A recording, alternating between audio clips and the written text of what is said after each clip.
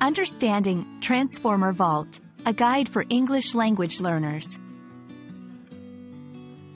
Hello and welcome to our English language learning series. Today, we're going to explore the phrase Transformer Vault. This might sound like a complex term, but don't worry, we'll break it down together. By the end of this video, you'll understand what a transformer vault is and how to use this term in conversation. Let's get started. Before we dive into what a transformer vault is, it's important to understand what a transformer is. In simple terms, a transformer is a device in electrical engineering that transfers electrical energy between two or more circuits. It's a key component in the distribution of electricity across distances. Transformers are used to increase or decrease the voltages of electric power for different applications. Now, let's look at the word vault.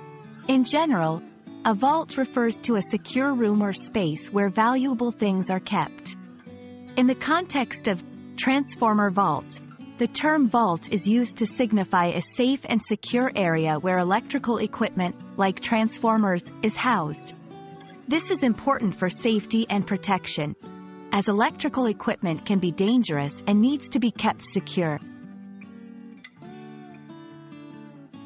Combining the two concepts, a transformer vault is a secure room or enclosed space where electrical transformers are housed.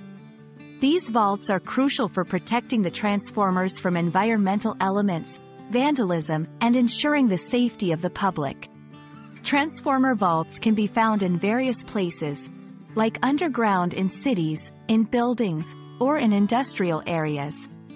They play a vital role in the electrical infrastructure of a place.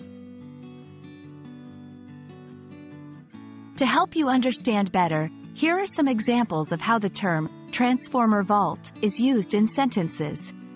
1. The workers needed to access the transformer vault to repair the electrical outage.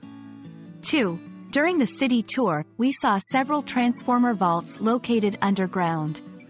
3. Safety regulations require the transformer vault to be locked at all times.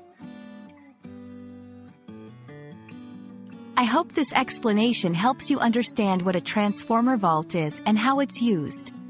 Remember, learning a new language involves exploring a variety of terms, some technical, like transformer vault. Keep practicing, and soon you'll be comfortable with all sorts of new phrases. Thanks for watching, and see you in our next lesson.